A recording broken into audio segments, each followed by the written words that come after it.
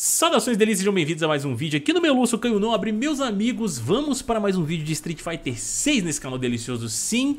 Mais um grande acerto da nossa querida Capcom aí em termos de recursos, né, conteúdos que eles estão trazendo para esse jogo delicioso. A gente já tinha falado aqui algumas vezes em vídeos passados com relação à quantidade de menus, né, modos de jogo que eles vão trazer para poder é, agradar até mesmo o público casual que eles têm, não só a galera que curte ali umas ranqueadas, um competitivo e tal. E dessa vez, mano, eles estão trazendo também, né, em notícias recentes aí que foram postadas, recursos de acessibilidade muito fodas para poder auxiliar pessoas que possam ter algum tipo de deficiência visual para que eles possam curtir também esse jogo maravilhoso. Então se você tá curioso, deixa seu likezão, se inscreve no canal, ativa o sininho para não perder a notificação dos próximos vídeos. É uma regra do YouTube, se vocês não ativarem, vocês não recebem os nossos vídeos. Então vamos lá, meus amigos. Deixa eu trocar minha tela pra gente poder começar a discutir sobre algumas coisinhas aqui relacionadas a esses recursos de acessibilidade. Eu tô no site, pessoal, do Event Hubs, como vocês podem ver que é um site lá de fora que cobre muitos jogos de luta. Eles falam sobre outros games de vez em quando também, mas o grande foco deles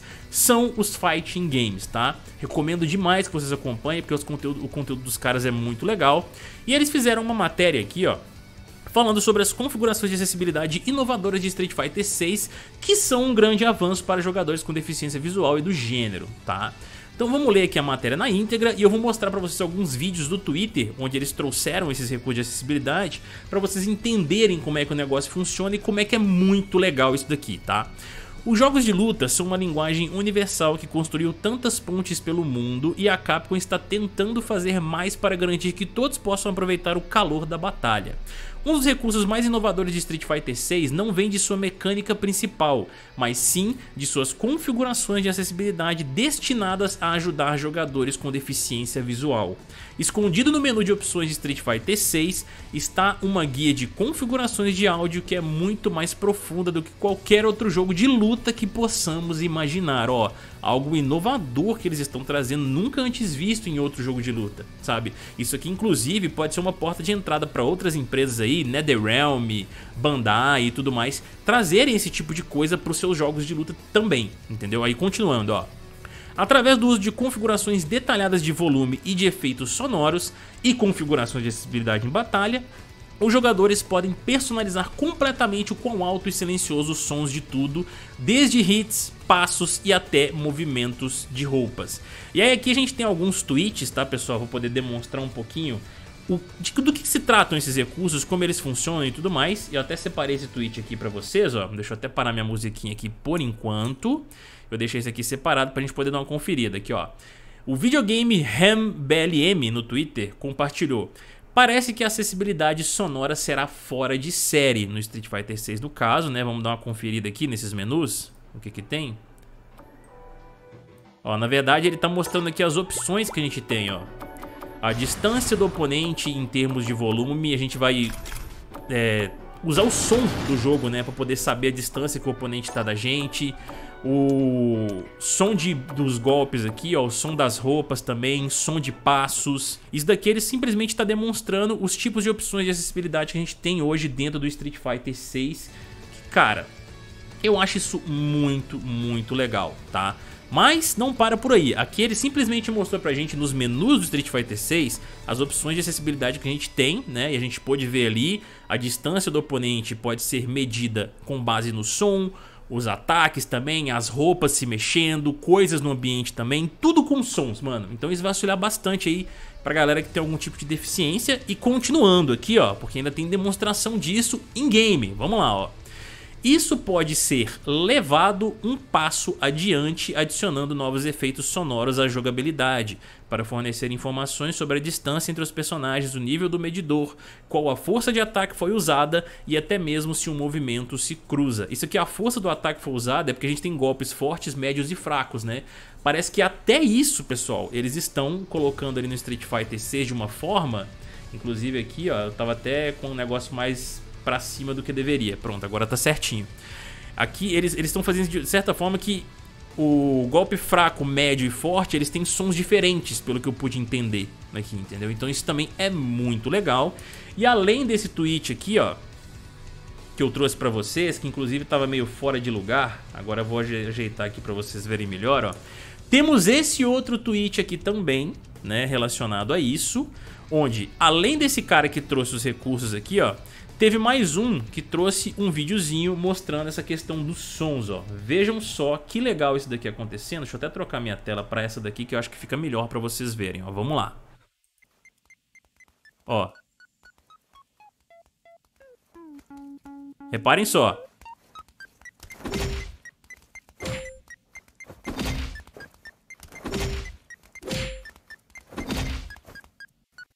Sacaram? Quando a Jury tá mais perto, o som fica mais ativo, né, ó. Ó, ficou mais acelerado. Ela se afastou um pouco, foi desacelerando, desacelerando até quase sumir. Ó, e ficou pom, pom, pom, pom, porque ela tá longe. E as porradas, ó. Reparem que aqui em cima tá aparecendo o tipo de ataque, ó. O ataque baixo, né, o low attack, ele deu um sonzinho bem menos contundente, vamos dizer assim. E o golpe alto, ele já deu um sonzinho mais potente. Olha lá, ó, pam. Aí o de baixo, o low, é um pam. Ó, pam, entendeu? Então assim, cara, sério, eu acho isso daqui uma coisa muito, muito da hora, sabe? Que eles estão implementando aí para poder justamente auxiliar essas pessoas que têm algum tipo de deficiência para que eles possam curtir com a gente também, né, mano? Assim, o jogo da forma como deve ser, entende? Eu acho isso muito legal a iniciativa da Capcom. Deixa eu até ajustar minha tela aqui mais uma vez, que tem um restinho aqui pra gente poder conferir, pessoal. E aqui embaixo, ó, a gente tem todas as opções permitem que a jogabilidade seja totalmente experimentada por meio de dicas de áudio se necessário.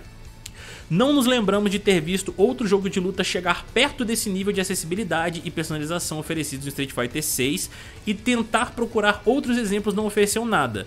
Co eh, nos corrijam se a gente estiver errado, que eles comentam aqui, isso que é o pessoal do Event Hubs falando, tá pessoal? Porque pelo jeito nessa matéria aqui, eles tentaram ver outros jogos que poderiam ter feito algo semelhante, mas eles não encontraram. Inclusive, se vocês conhecerem também, né, assistindo esse vídeo aqui agora, deixa aqui embaixo nos comentários, mano. Comenta aí se vocês já viram alguma coisa parecida nesse sentido aqui em outro jogo de luta. E aqui, cara, ó, o Blind Warrior Sven no Twitter, ele fez um relato, ó.